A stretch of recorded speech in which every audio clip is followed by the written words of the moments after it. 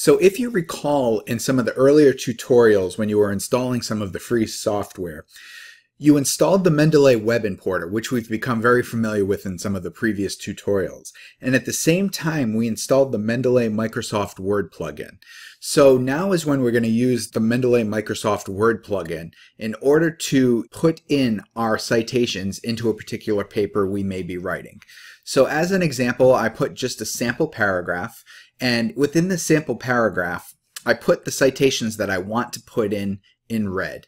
Now, traditionally, I wouldn't do this when I'm writing a paper. I just put these here so that way I can mark where I want to put them as an example to show you what we're working with.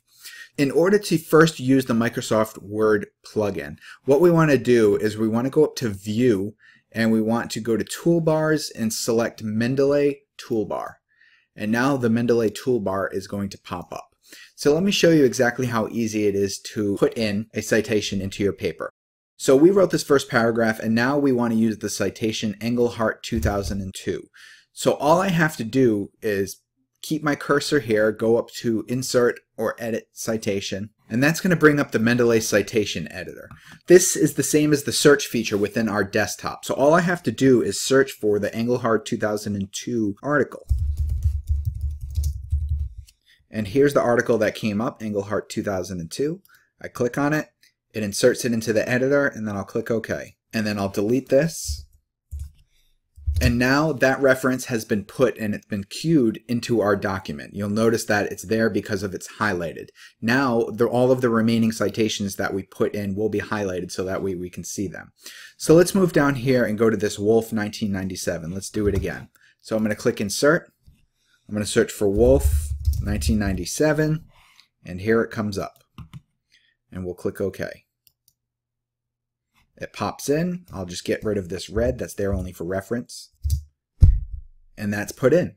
Now take a look at this other one, Brunswik 1952 and Engelhardt 2013. What we can also do is we can put in multiple citations at the same time. So we'll go up to Insert. We'll search for the Brunswik. There it is, Brunswik 1952. And we'll also search for Engelhardt 2013. And then I'll click OK. And you notice those are perfectly installed in alphabetical order, and those are always going to be installed based upon whatever citation system we might be using. Okay, so let's do one more, and I want to show you something specific with this as well. If you notice here, this is one of my papers. So let's install my paper. And then I'll click OK. And I'll get rid of it just like all of the others. Now, if I'm submitting this paper to a blind review journal, I cannot put my information in there because it has to be blind reviewed. So in this particular instance, that's not going to work. So we can actually go in very easily and edit what's going to be in there. So I can go back here and just delete it and put in author and it's very it's that simple that we can edit whatever's in there.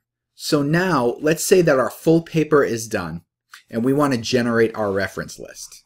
I'm just going to insert a break to the next page here.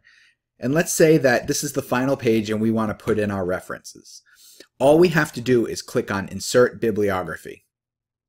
Now this dialog box is popping up because we did a very specific edit of the citation. Remember this said Wesolowski 2015 and we changed it to author 2015. So it's going to ask us if we want to keep that citation edit. So yes, we want to keep that edit. And it's going to ask you for every edit that you make whether or not you want to keep it or undo it. So we're going to click keep. And you'll notice here that everything is now in perfect APA citation because we have APA 6th edition cited right here, and everything is completely generated and it's 100% correct. So what I would do here is I would just maybe go through and I would put spaces where it's needed. Now we can also edit some of these. Some journals ask for the DOI information. Some journals want to uh, put in the DOI information when it comes time for the copy editor to make sure that the citations are correct. So in this instance, we could just get rid of, we can highlight and delete all of the DOI information. And it's that simple. If we want to have everything double spaced properly, we could just go to here and then use the Microsoft Word, go to paragraph. Everything can be double spaced. And there you go. You have a perfectly formatted APA reference list. Now, of course, a small minor detail, we can take a look at this. Um, and as it pasted, it pasted into the default font. And so we can just switch that font. No problem. And then lastly, if you remember that we had to make it anonymous in terms of my citation, we can certainly delete this, change it to author,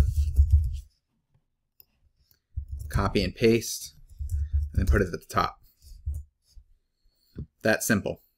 So you notice here that it's not highlighted like the rest of them, but that's certainly okay because, you know, as you as you print this and save it as a PDF, none of the highlights are going to show up. That's just indicated in Microsoft Word as we're using Mendeley. And so what you'll notice is that this just optimizes the process. You don't have to worry about going and matching whether or not you, all of your references match what's written in your narrative and making sure that everything in your narrative is covered in your references and making sure that you didn't mess up any dates or mess or make sure that your, any of the formatting uh, is incorrect. So this just automates everything and it saves a ton of time. I hope you enjoyed the video and found it helpful. If you did, make sure to give us a big thumbs up and like the video. If you haven't done so already, be sure to subscribe to our channel by clicking the link above, and make sure to check out some of our other videos. We'll see you again soon.